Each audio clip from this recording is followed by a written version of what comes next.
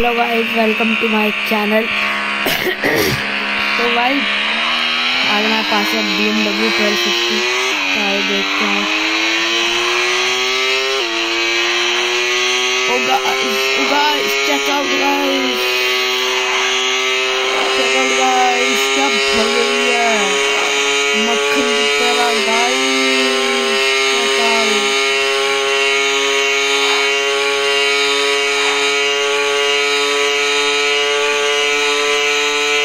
quay bay bay bay bay bay con Australia con Australia